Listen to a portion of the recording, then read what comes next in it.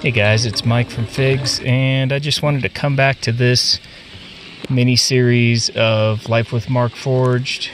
Um, we've had our Mark II for over a year now, and the experience was a little rough at first with some uh, print quality issues, controller issues, that kind of thing.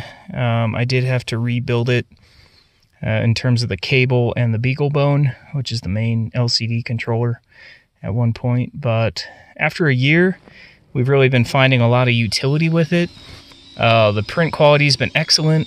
The number of failures has reduced really almost to zero. I haven't had a whole lot of issues as long as I've abided by the uh, nylon hydrophilicy uh, issues and the moisture absorption. So, as we roll to this uh, two year anniversary, uh, we've been finding so many uses for it and we see such potential that we got a big surprise, made a big decision towards the end of the year.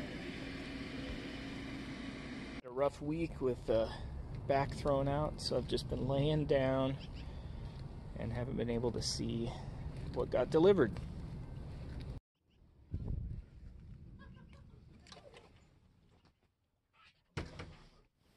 So, for those of you that don't know, the Markforged X7 is their industrial printer.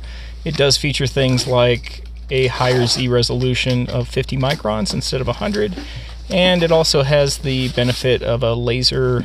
Uh, it's basically a laser rangefinder that's integrated, which allows it to do some bed compensation, and it also allows it to, I think, hold tolerance over larger prints. We have some big plans for this thing. I hope it works out. It is a big risk, it's a big investment, and I'm here to give you guys the the up and up on what it's like to actually own one of these printers.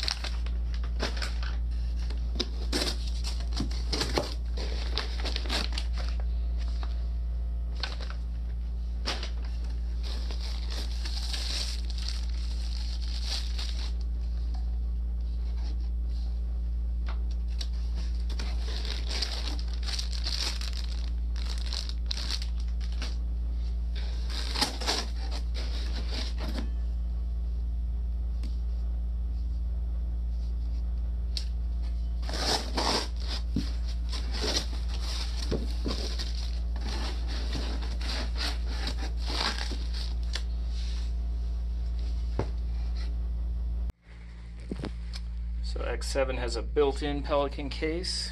I'm gonna do the base first. And this is how you access it.